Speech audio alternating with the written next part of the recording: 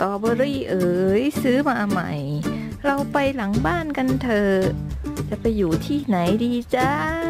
เออ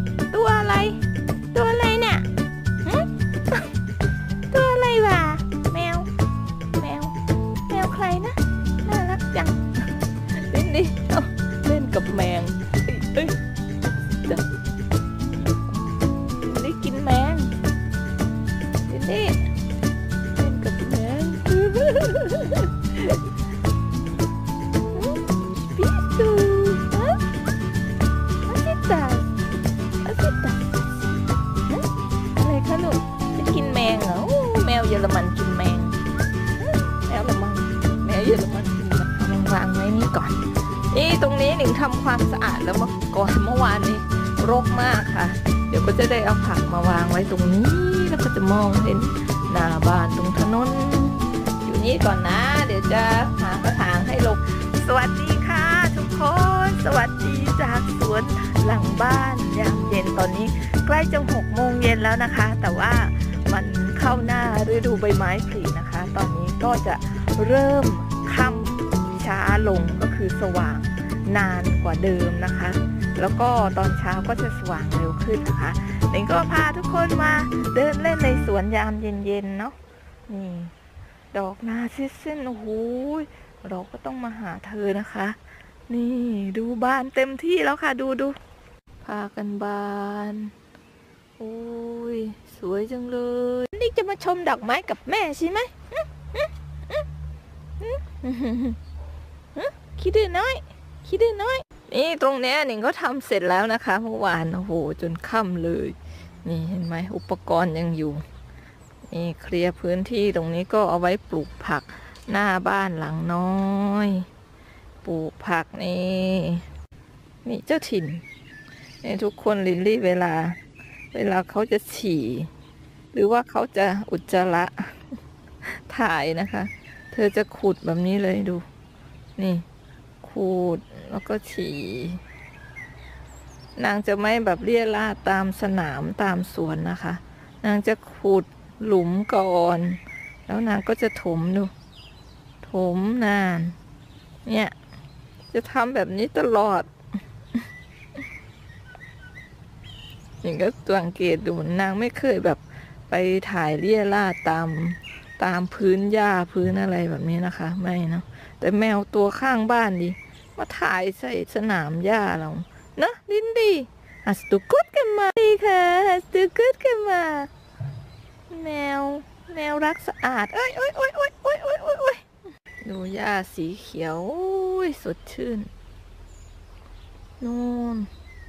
พระอาทิตย์จะลาลับ โอ้ยสดชื่น เอ้ยเอ้ยเอ้ยเอ้ยเอ้ยพื้นที่ของนางวิ่งเล่น เฮ้ย ใครนะใครนะใครนะวันวันวันวันวันวันเอ้ยวัดทุกคนยังไม่เคยเห็นนะหนิงยังไม่ถ่ายให้ดูนะคะ เพราะว่าบ้านเนี่ย อันนี้บ้านหลังของเรานะคะ ที่เราอยู่คุณสามีสร้างมาเนิ่นนาน มาแล้วนายช่างใหญ่สามสิบปีนะคะ เธอซื้อบ้านตั้งแต่เธออายุยี่สิบประมาณยี่สิบเท่าไหร่ ฮัลโหลสิฮัลโหล แล้วก็หลังตรงนี้นะคะ คือหลังที่เราเพิ่งซื้อประมาณเกือบสี่ปี ตั้งแต่หนิงมาอยู่ได้ประมาณปีหนึ่งคุณสามีก็ถาม อันนี้คือหลังบ้านนะคะ บ้านจะอยู่ตรงนู้นเนาะ อันนี้เป็น Wintergarten ของของบ้านเรานะคะ นี่บ้านอีกหลังหนึ่ง แล้วก็พื้นที่ตรงนี้อีกพื้นที่หนึ่ง มันก็เลยเป็นสามแปลงนะทุกคนจะเห็นนี่ตรงนี้ เอ้ยเอ้ยเดี๋ยวเดี๋ยวเล่นนี่อะไรนี่ลิง มันลิงจักจักนี่เนี่ยฮะลิงดูบิสอัฟเฟนนะฮะลิงจักจักก็เรียกว่ารักจริงจริงลิงจักจักก็คือลิงนินหลีลิงสายพันธุ์ใหม่ที่เยอรมันนะคะนี่ยอย่าตกนะลูกฮะ ดื้อเอ้ยไหนจะพูดอะไรเมื่อกี้คังมาแล้วเปงเปงโอ้ยนี่คือเสียงะระฆังจากโบสถ์นะคะ โบสถ์อยู่หลังบ้านเราตรงนู้นเดินไปนิดหนึ่งเรียกว่ารักจริงจริงลิงกันจักฮัลโหลก็ลิงลิงลี่ลิงลิงลี่อะลิงลี่ลิงลี่ hey you are you ready oh ฮัลโหลเนี่ยเสาสี ขียวที่กั้นอยู่ตรงนี้นะคะนี่ ก็คือฝั่งฝั่งที่มันเป็นมันเป็นรั้วของบ้านบ้านของเราตรงนี้นะคะ แล้วก็จะกั้นกับพื้นที่ตรงนี้ ยาวไปตรงนี้เห็นไหมยาวตรงไปเลย นี่คือพื้นที่ของบ้านหลังใหม่ที่เราซื้อนะคะ ซื้อเพิ่มเนาะมันก็เลยแต่ก่อนเนี่ยไม่เป็นแบบนี้นะคะ ไม่ได้ปูหญ้าแบบนี้นะ อันนี้เราพังรั้วออกนะคะ เอารั้วสีเขียวออก คุณสามีก็ต้องมาเอาดินดินมากลบให้มันขนาดเท่ากันนะคะ พื้นที่ให้มันเท่ากัน จากนั้นก็ก็ปลูกหญ้าใหม่นะคะ ปลูกหญ้าเพิ่มเนาะพื้นที่ของสวนเราก็เลยกว้างขึ้นนะคะ นี่เห็นไหมยังยังยังดูเป็นเส้นขอบอยู่เลยนี่นี่ตรงนี้นี่ตรงนี่นี่นี่นี่คือเส้นตรงเนี้ยนะคะ คือส่วนของบ้านหลังใหม่ที่เราซื้อเพิ่มเนาะ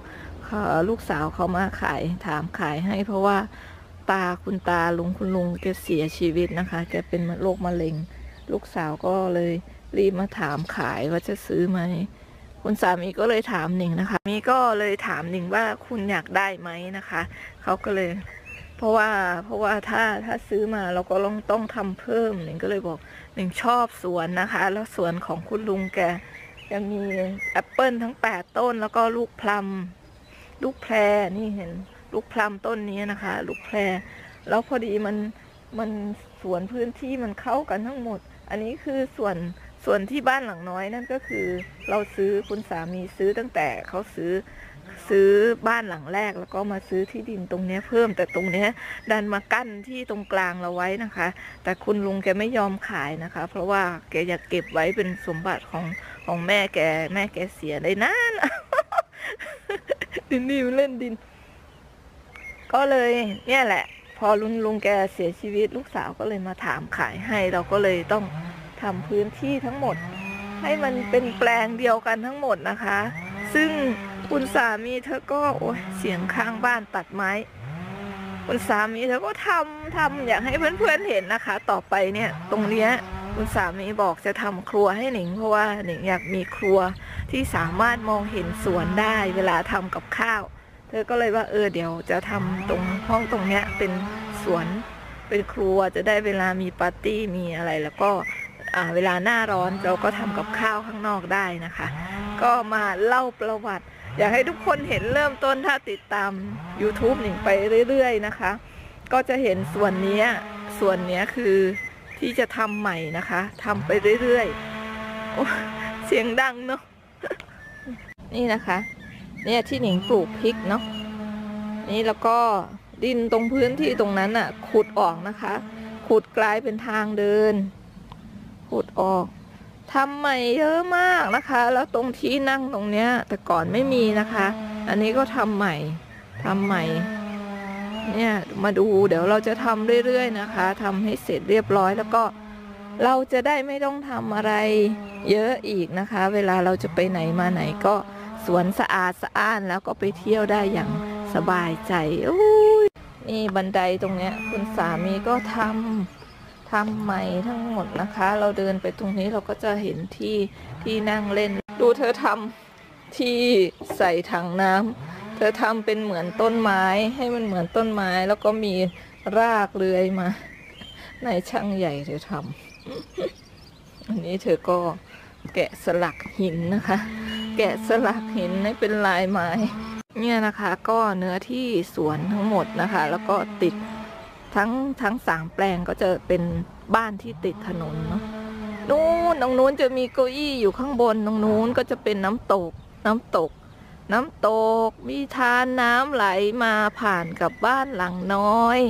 บ้านหลังน้อยก็จะมีระเบียงยื่นออกมานั่งจิบกาแฟหลังบ้าน